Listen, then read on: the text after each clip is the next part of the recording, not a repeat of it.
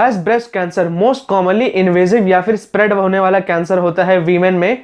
और second leading cancer death का cause होता है in women after lung cancer अब यहाँ पे गैस ब्रेस्ट कैंसर एक ऐसी डिज़ीज़ होती है जिसमें जो सेल्स प्रेजेंट होते हैं ब्रेस्ट में, वो आउट ऑफ़ कंट्रोल तरीके से ग्रो होना स्टार्ट हो जाते हैं और वो अल्टीमेटली एक ट्यूमर का फॉर्म ले लेते हैं। फिर गैस अगर हम ब्रेस्ट कैंसर की टाइप्स की बात करें तो बेसिकली इसको टू टाइप्स में क्लासीफाई किया गया है।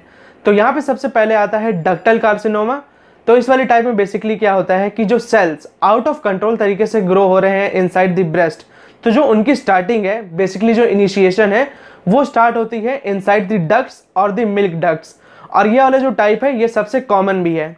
फिर इसके बाद गाइस जो दूसरा टाइप है, वो है लॉबुलर कार्सिनोमा इनमें यही सेल्स जो रैपिडली डिवाइड कर रहे हैं, उसकी जो स्टार्टिंग है, वो स्टार्ट होती है इनसाइड द लॉब्यूल अब यहाँ पे गाइस आपको ब्रेस्ट कैंसर के सिम्टम्स को जानना बहुत ही ज़्यादा ज़रूरी है।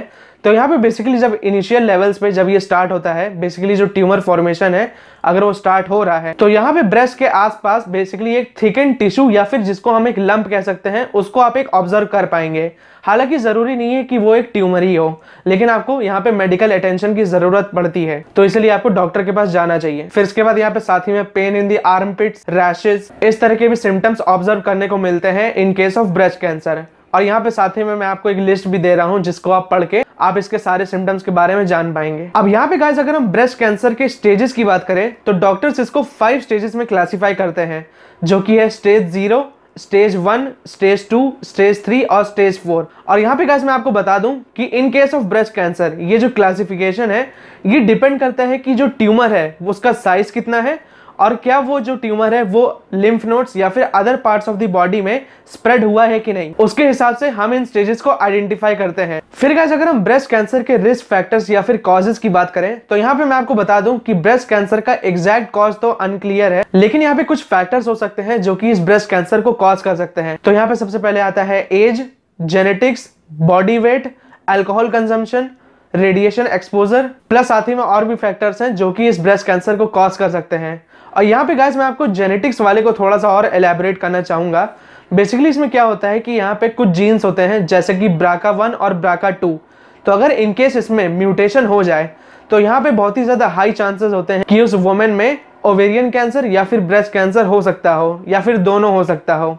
और यहाँ पे गाइस आप बिलीव नहीं करेंगे कि यूएस में इसकी बेसिकली टेस्टिंग चलती है कि ये ब्राका वन या फिर ब्राका टू जीन्स में म्यूटेशंस को ऑब्ज़र्व किया गया है कि नहीं। और यहाँ पे अगर इनकेस कोई म्यूटेशन है तो यहाँ पे यूएस में वुमेन्स में इतना ज़्यादा फियर है इस बात का कि वो अपने ब्रेस्ट को ही रिमूव करा देते हैं। बेसिकली इसको मेस्टेक्टोमी कहा जाता है। जिसमें गाइस ये जो जीन्स होते हैं, ये वो अपने पेरेंट्स से इनहेरिट करते हैं। प्लस साथ ही में गाइस अगर फैमिली हिस्ट्री में किसी को ब्रेस्ट कैंसर है तो आगे वो जनरेशन में पास होने के भी चांसेस होते हैं। और साथ ही में गाइस टीपी 53 जीन में म्यूटेशन होने से भी ब्रेस्ट कैंसर कॉज हो सकता है। फिर गाइस अगर हम ब्रेस्ट कैंसर की ट्रीटमेंट की बात करें तो यहाँ पे ट्रीटमेंट तो बहुत सारे तरीके के अवेलेबल हैं।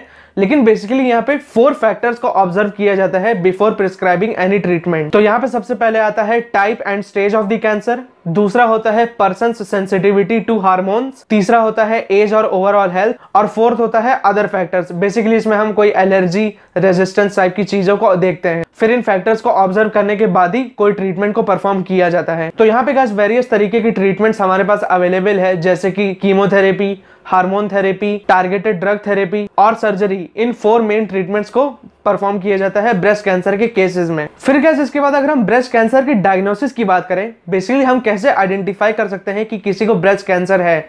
तो यहाँ पे सबसे पहला तो होता है फ़िज़िकल इंडिकेशंस जैसे कि मैंने आपको सिम्टम्स भी बताया था कि अगर कोई लंप हो इन ब्रेस्ट या फिर आर्मपिट तो यहाँ पे आपको मेडिकल अटेंशन की ज़रूरत पड़ सकती है। फिर गाइस जो डॉक्टर होगा, वो बेसिकली कई तरीकों को यूज़ कर सकता है उसको आइडेंटिफाई करने के लिए।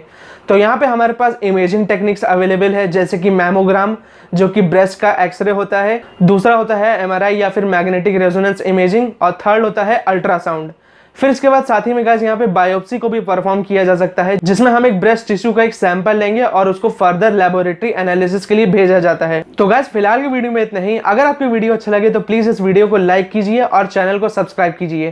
Thanks for watching